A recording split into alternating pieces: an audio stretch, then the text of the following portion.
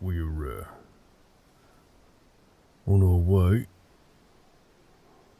You comfortable down there? Yeah, I know it's not the most um, advantageous position, but it is a great way to travel. These sand skidders get us going along at quite the clip.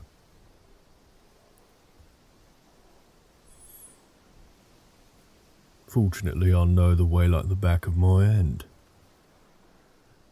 The others will likely get there first. Mine is one of the slower skidders. Well, I used to have a fast one, but I lost it in a bet.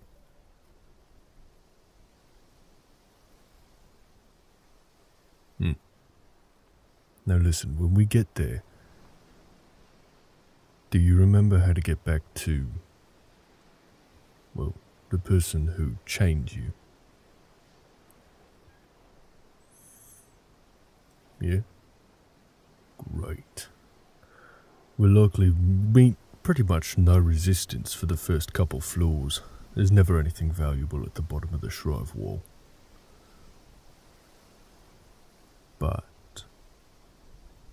once we get out of the bottom floors and get towards the middle, there will be guards.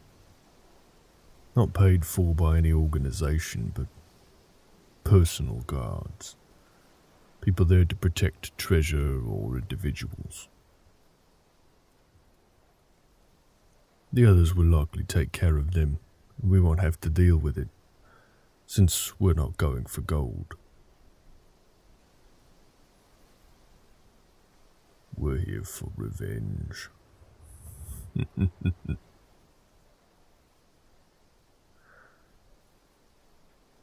I need you to know. I don't believe that this is going to bring you peace. Revenge is ugly. It's a horrible business. But it's one that I understand and I can get behind.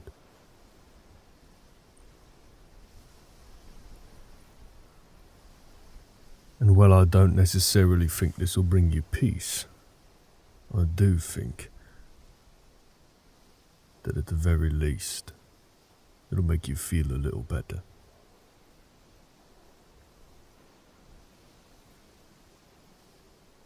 Yeah, I've had my revenge. Didn't really make me feel any better. I had to forgive myself for letting myself get caught. And I had to forgive my abuser. Oh, no, no, no. That's not what forgiveness means. Forgiveness doesn't mean you talk to them again. Forgiveness doesn't mean that you're okay with what they did to you. Forgiveness doesn't mean any of that. Forgiveness is letting go of it. It's an incredibly difficult and sometimes painful process, but a necessary one. For you, for your healing. Remove any sort of hate, built up wrath, and realize that it's not hurting them for you to be mad.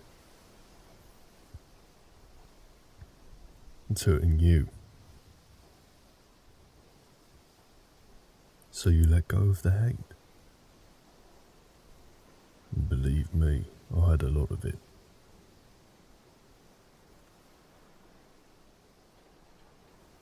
As a matter of fact, when I faced off against the one who put a collar round my neck and enslaved me. I had forgiven him already. I told him I bore no hate.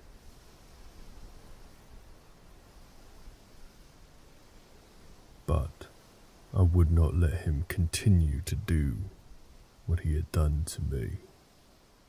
To anyone else. And I broke his neck. It did feel good. But it didn't feel good because I killed a man who had enslaved me.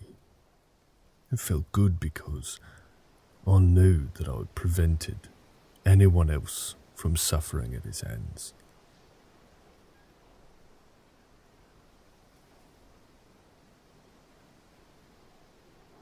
Yes, I suppose that that's true. Forgiveness does sort of imply that you should talk to them again, but I honestly don't recommend it. You forgiving another person should be a private affair, in my opinion.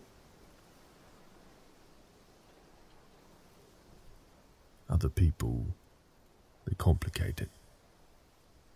All you're really doing when you forgive someone, at least my way, is letting yourself stop carrying the burden around.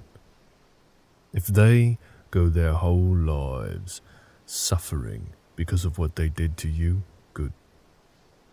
They deserve it.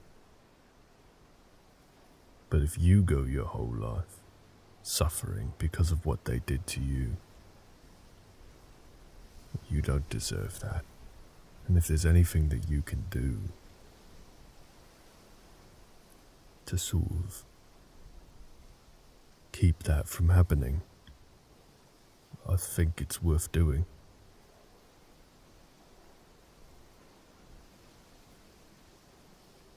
Hmm.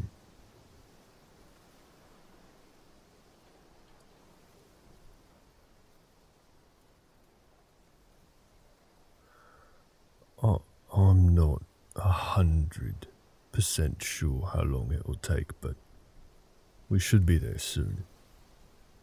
And when we get there, you stick by me, alright?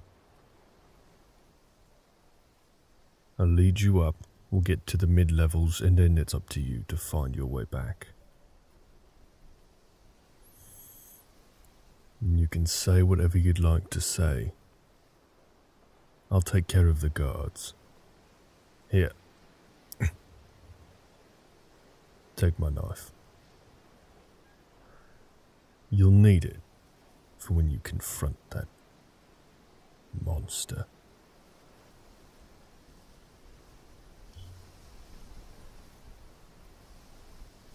Alright. Oh, hey, we're coming up on the wall. You can sort of see it in the distance. We'll be there soon.